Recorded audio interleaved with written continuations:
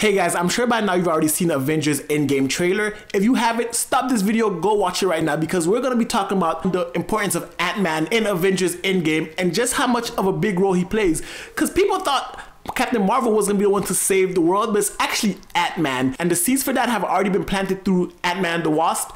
And the fact that he shows up in the trailer in the way he does, all but solidifies the fact that Ant-Man is the key to stopping Thanos and reversing everything that happened.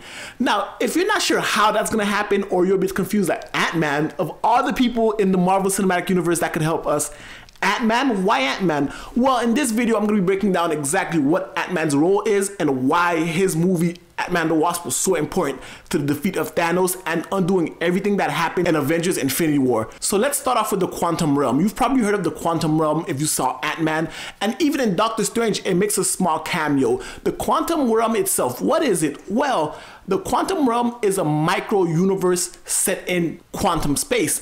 Now, that's a bit over my pay grade of explaining quantum physics and all that, but for the sake of this movie, we can go ahead and say it's a micro universe and the reason why it's so important is because time works differently inside of the quantum realm. Time and space themselves work differently and seems to be unaffected by the outside time of space outside of the quantum realm.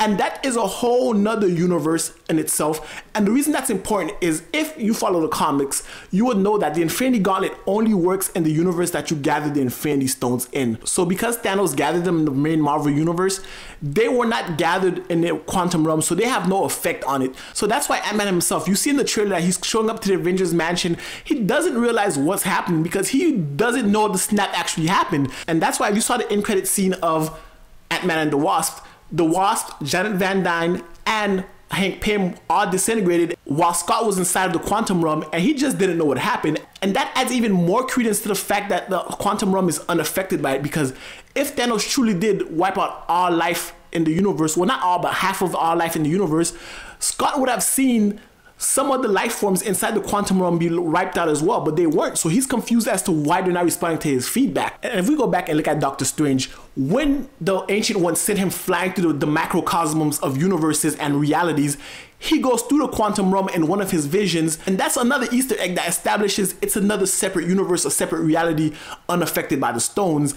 And the key point that wraps it all up is Janet Van Dyne told Scott Ant-Man, when you go into the quantum realm, be wary of the time pockets because they're so volatile and we just don't know what happens because they don't know exactly how volatile and how to use the time pocket. So just look out for them. That's another nugget sprinkled in Ant-Man the Wasp that plays huge dividends or will play huge dividends in Avengers Endgame. Now, what's really interesting is how are they going to use this information, this quantum realm and the time pockets to fight or reverse what Thanos did.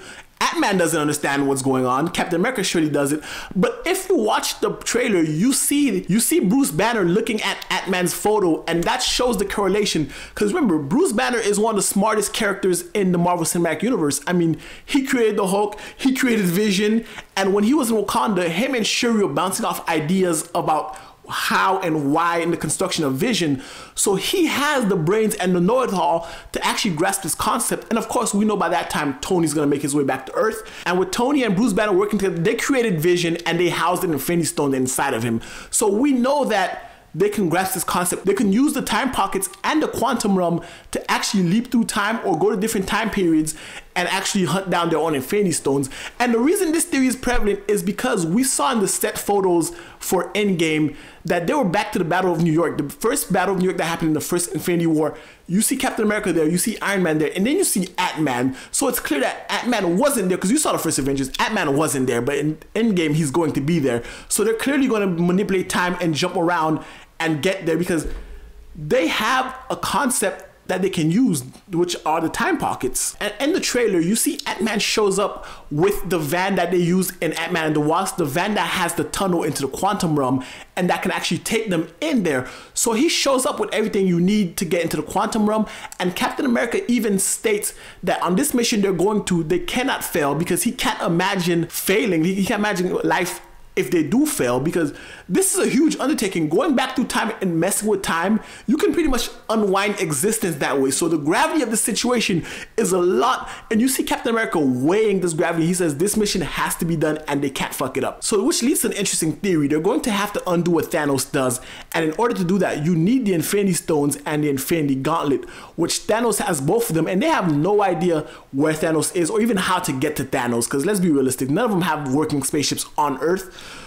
So the best way to do it is to create their own Infinity Gauntlet and get their own Infinity Stones. And that's why going through time will allow them to go through different various time periods and pick up different Infinity Stones.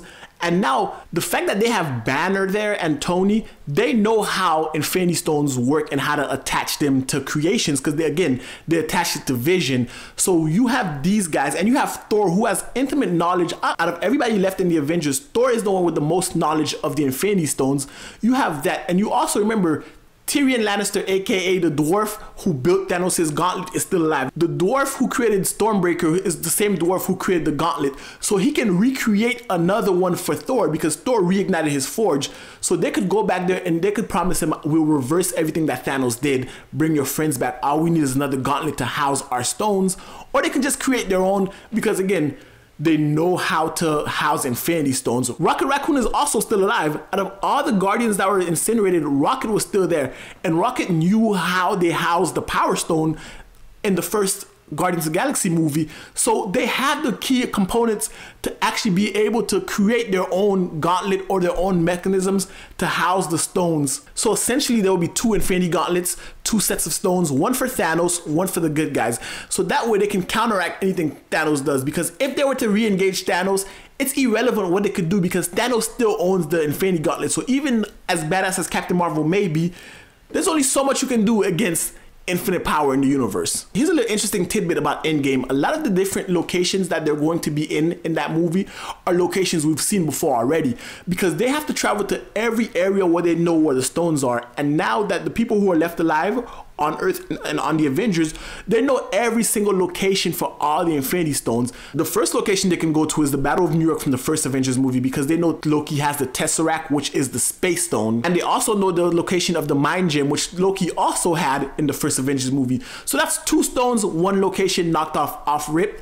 Now the second stone, the Reality Stone, is part of the worst MCU movie. It's part of the whole movie of Thor 2. Thor knows where it is, and Thor's actually the one who delivered it to the collector. So Thor could give him that location. That's already three stones down. The Power Stone, Rocket and the Guardians of the Galaxy turned it to Xandar. So Rocket knows the location of the Power Stone, and he could just go and get it back in that time period. So that's already four stones.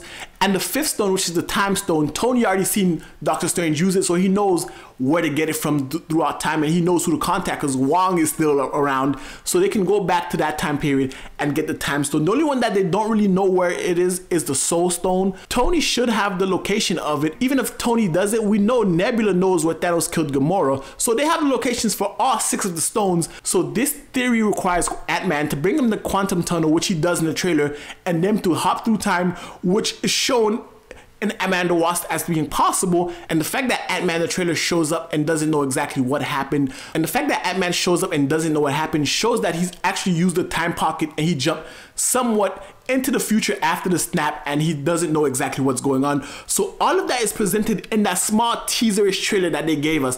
And if you connect the dots throughout the different movies, especially Avengers Infinity War and Ant-Man and the Wasp, you get the key components to figuring out just what is the role of Ant-Man in Endgame and just how they will defeat Thanos. And as a nugget, a lot of people don't know how Ant-Man escaped the quantum realm. And, that, and that's very easy. If you watch the first Ant-Man movie, you'll know that he went to the quantum realm and he escaped by bigifying himself with one of those doodlies thingies that he makes stuff bigger. So he escaped that way. So it's not that much of a mystery. Anyway, guys, that's Ant-Man's involvement in Avengers Endgame. And if you guys have any interesting theories, I'd love to hear them in the comment section below because, again, because this movie is quite a few months away.